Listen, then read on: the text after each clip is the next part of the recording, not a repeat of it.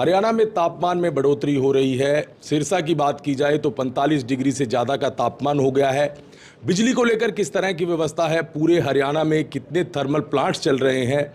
और क्या इस बढ़ती गर्मी में कट लगेंगे? क्या बिजली निगम की तैयारी है? इन तमाम मुद्दों पर बात करेंगे हमारे साथ कैबिनेट मंत्री, बिजली मंत्री रंजीत चौटाला हैं। सर, गर्मी बढ़ रही है। अक्सर देखने को मिलता है कि कट्स लगते हैं, लोगों को परेशानी होती है। पारा पैंतालीस डिग्री के पार हो गया है। हरियाणा की बात की जाए तो किस तरह के इंतज़ाम है, सर? देखिए, हमारे यहाँ कोई दिक्कत नहीं है। पिछला भी हमारा एक ट्रैक रिकॉर्ड रहा है कि पिछले साढ़े तीन साल में कभी भी दिक्कत नहीं आई। उससे पहले पाँच साल भी कभी दिक्कत नहीं आई। कभी पावर कट नहीं लगते। टेक्निकली फॉल्ट हो जाता है, वो कहीं भी अमेरिका में भी हो सकता है जापान में जो बहुत एडवांस टेक्नोलॉजी में, उन कंट्रीज़ में भी हो जाता है। पर हमारी बिजली की पोजिशन सबसे बेहतर है। उसके लिए मैं दो बातें बता रहा हूँ। सैंतालीस डिस्कॉम कंपनीज़ हैं जो गवर्नमेंट ओन्ड हैं। उनमें हम पंद्रहवें, सत्रहवें नंबर पे थे। आज हम पाँचवें और छठे नंबर पे हैं। पहली चार कंपनी अकेले गुजरात की है। अगर स्टेट वाइज जाए, हम नंबर दो पे आए हमारी दोनों कंपनीज़ ए प्लस है। हमारी चार कंपनीज़ है, चारों ही कभी डिफ़ॉल्ट नहीं हुई। आज तक हमारे पूरे देश, हम गुजरात से भी एक नंबर पे हमारी की अकाउंटेबिलिटी आज कहीं भी कोल इंडिया से लें, कहीं लें, हमें कोई दिक्कत नहीं है। हमारे सारे थर्मल जोन हैं। खेदड़ में हमारे 1200 मेगावाट प्रोडक्शन है। आपके पानी इसमें यमुनानगर में हमारे दोनों यूनिट चल रहे हैं, सात सौ मेगावाट चल रही है। हमारे पानीपत में तीन यूनिट हैं, जिसमें ढाई सौ ढाई सौ के दो चले एक दो सौ दस वाली में कोई ट्यूब की दिक्कत होगी, वो अगले तीन चार दिन में ठीक हो जाएगी। हमारे वो है, हमें जाडली से पूरा मिल रहा है सेंट्रल पूल से जो हमें मिलती है हाइडल पावर जो हमें आती है, वो सब हमारे पास है। हमारे पास इन हैंड पूरी पावर है। और कल हमारी जो मैक्सिमम कंजप्शन थी, वो उन्नीस पॉइंट तैंतीस करोड़ थी। और मोटा मोटा अंदाज़ा आप समझिए कि नौ हज़ार नौ हज़ार मेगावाट के करीब। हमारी मैक्सिमम जो पिछले साल कंजम्पशन गई थी, वो बारह हज़ार एक सौ थी। और हम ये समझते हैं कि अगली बार, इस बार थोड़ा बढ़ के जा सकती है पंद्रह परसेंट और बढ़ सकती है। तो ये साढ़े तेरह, चौदह तक भी जा सकती है। क्योंकि जितने एज है रोज़ रोज़ नया लोग पावर को यूटिलाइज कर रहे हैं। उतना ही हमारे सोलर पावर भी बढ़ती जा रही है। मेरा अंदाज़ा है कि तेरह, चौदह तक ये रहेगा तो उसमें हम तैयार हैं। कभी भी कोई दिक्कत नहीं आएगी। और इस वक्त आपको पावर से एक बात का अंदाज़ा ले लो, जब भी इंडस्ट्री कहीं आती है तो सबसे पहले वो ये देखते हैं पावर पोजीशन क्या है। चाहे किसी स्टेट में कोई लगा रहा है अडानी लगा रहा है अंबानी लगा रहा है मित्तल लगा रहा है, गोदरेज लगा रहा है तो सब वो लोग पहले देखते हैं। मैं आपको एक रिकॉर्ड की बात बताता हूँ। पूरे देश में जितने एक्सावेटर बनते हैं, ये जो बड़ी मशीनें बनती हैं, उसका सिक्सटी परसेंट अकेला हरियाणा बनाता है।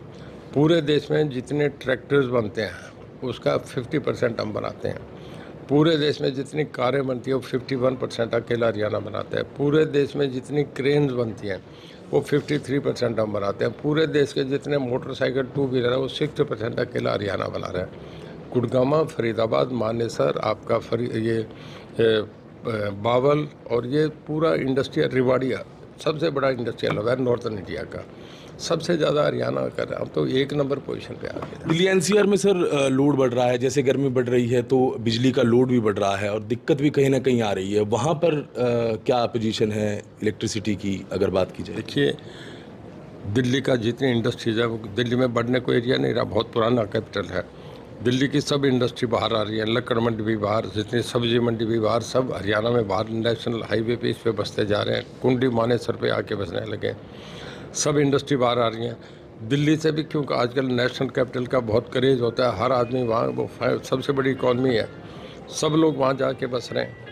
सारी दिल्ली की आबादी जो है वो आ रही है, चाहे आपका डीएलएफ के वो ग्रुप हाउसिंग के बड़े फ्लैट्स बन रहे हो, चाहे आंसल के हैं या यूनिटेक के हैं या टीडीआई के हैं या वाटिका के हैं सब के वहाँ बनने उसके बाद भी हम उन फ्लैटों में एक एक फ्लैट में दस दस टीवी लगे हैं।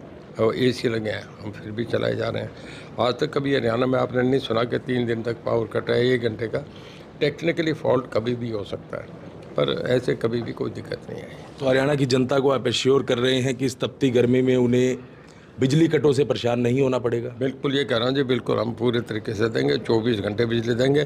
आप हमारा ये समझे कि पिछले आठ साल में कोयले के रेट बढ़ गए, डीजल के रेट बढ़ गए, आपका जनरल कॉमोडिटीज़ के रेट बढ़ गए, हर चीज़ के रेट बढ़े, ज़मीनों के रेट बहुत बढ़ गए।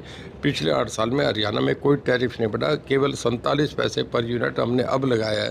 वो पिछले साल जब यूक्रेन का युद्ध हुआ तो उसमें डीजल, कोयला, सब इम्पोर्ट कोयला, सारा सप्लाई सब जगह बंद हो गई थी, उसका इफ़ेक्ट वर्ल्ड वाइड आया।